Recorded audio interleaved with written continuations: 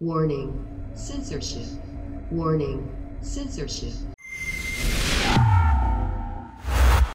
A doctor in Quebec recently spoke out on the efficiency of child vaccination in an article that was published in the La Presse newspaper. The same day, the article disappeared.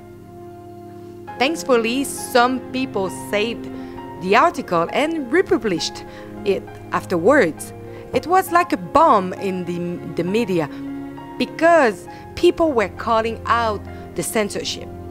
The media have replied that the article wasn't 100% truthful and that is why they had removed it. On the same tribune, an apology statement has been published with a rectification concerning Dr. Lavigueur article. After talking with Dr. Lavigueur, the latter told me that he wrote another letter in regard to the article about him and he has been ignored by La Presse and as well by Le Devoir. I went to meet Mr. Lavigueur to shed a light on what happened and the censoring of his article. Donc euh, aujourd'hui, je me trouve en présence du docteur René Lavigueur. Beaucoup d'histoires, mon Dieu, dans les dernières semaines à votre, à votre égard.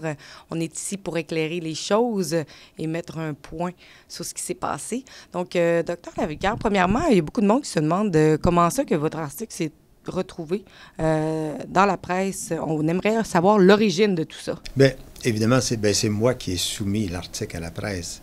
Mais pourquoi j'ai soumis un article, c'est que ce sujet-là m'intéresse depuis le début et je me suis passablement informé. Hey guys, sorry for interrupting.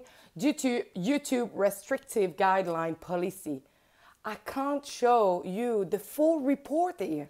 But please click on the link in the description or go to Ribbon News to watch the full uncensored video.